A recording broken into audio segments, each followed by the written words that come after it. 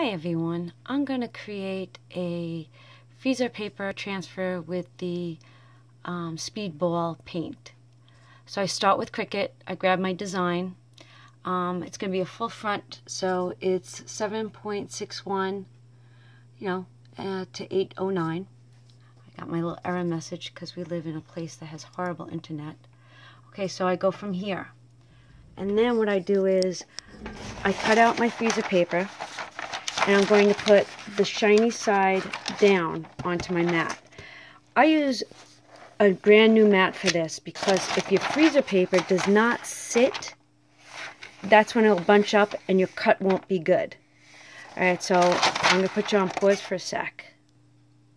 Okay, so I placed my paper on my mat and I rub it down real well. Um, and then what I do is I put my machine to custom settings and I'll show you where we go from here. So I'm going to send it to my machine and then I use custom settings, washi, I'll show you in a second, washi 0 0.06 millimeter. This is what I cut it at. Okay. Alright, my machine is loaded and we're going to cut. I love my machine. Okay, now that it cut, it's time to weed. So I'm going to weed out what I don't want and leave in what I do want. So I need the circle for inside the P. Same thing with the G.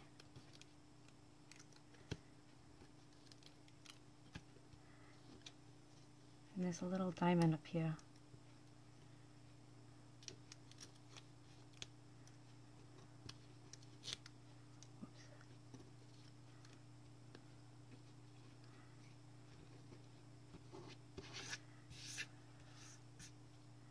I actually find this to be very therapeutic.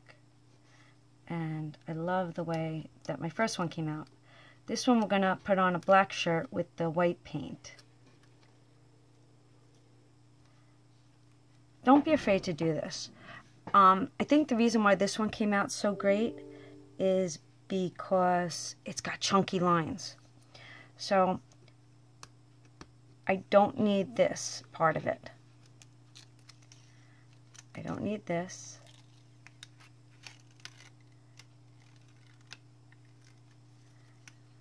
I need that, I need that, I need that. Okay. Then I don't need this. I need that.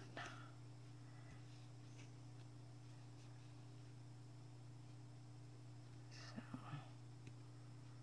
this part comes out.